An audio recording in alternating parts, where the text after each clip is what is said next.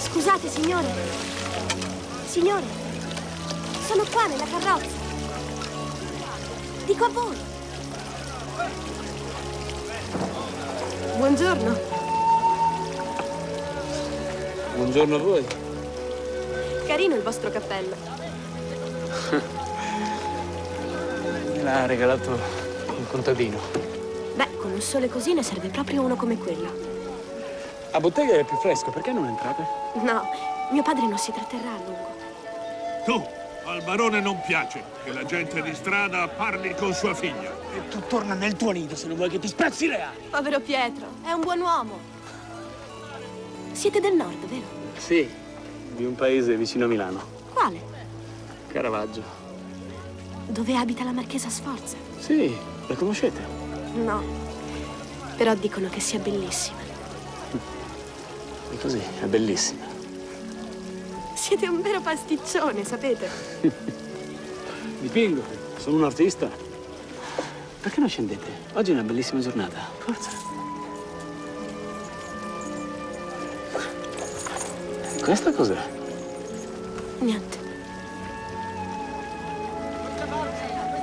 Mi portereste un po' d'acqua, per favore? Certo. Ma perché siete legata? Vi prego, non fate domande.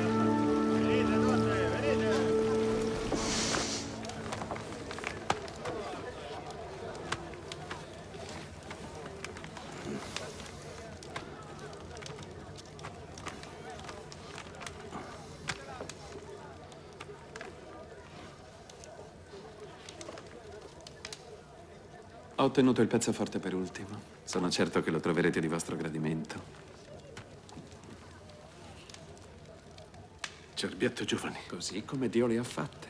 Pure e candide come la neve.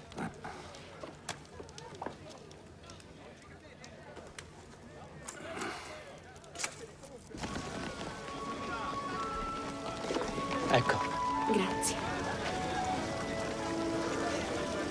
questo è uno dei miei lavori.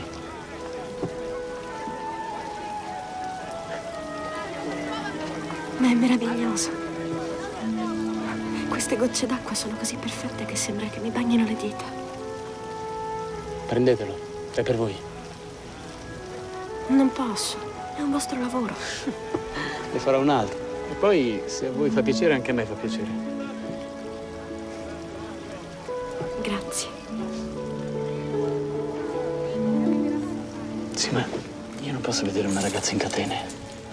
Michele, stanno tornando. Vieni via, di là. Io non so nemmeno il vostro nome. Michele, Michelangelo Merisi.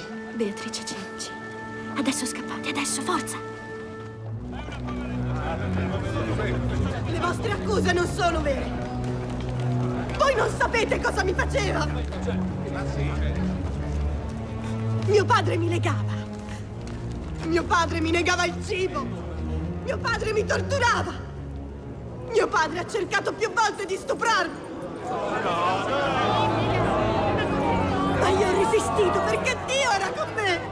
Anche se l'uomo che lo rappresenta rifiuta di ascoltarmi. Silenzio! Ma come vi permettete di insolentire Sua Santità? È blasfemo ciò che dite! Per concupire le ricchezze della mia famiglia, questo non è blasfemo! Ha ragione! Ho visto io quella fanciulla